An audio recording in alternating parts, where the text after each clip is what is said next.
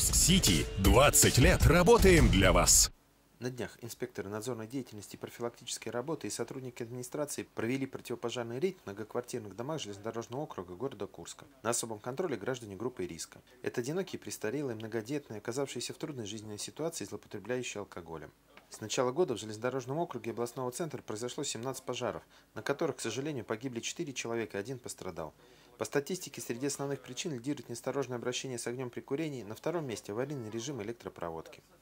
В центре внимания проверяющих не только соблюдение правил пожарной безопасности в квартирах, но и в местах общего пользования. Сотрудники Госпошнадзора оценили состояние электропроводки, соблюдение правил безопасности при эксплуатации бытовых электроприборов, работоспособность пожарных дымоизвещателей.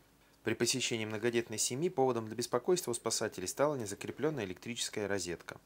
Вот видите, у вас еще э, розетка как бы э, находится э, в таком вот в подвешенном состоянии.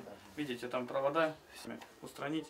Я думаю, нетрудно это будет разобрать. Оплавленные розетки, электрические щитки, оголенные провода, соединенные методом скрутки, отсутствие плафонов на светильниках, а также загромождение путей эвакуации мебелью и техникой – такие нарушения встретились спасателям на лестничных площадках и коридорах в здании пятиэтажки.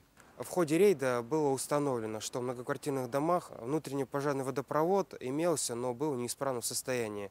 А, отсутствовал пожарный рукав и также отсутствовал пожарный ствол. Также в некоторых местах проводка была соединена методом скрутки, что нарушает требования пожарной безопасности. Инструктажи и беседы с населением – один из ключевых способов профилактики возникновения огненных ЧП.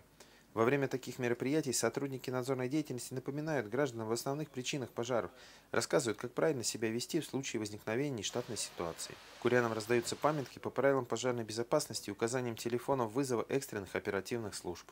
Курск-Сити. 20 лет работаем для вас.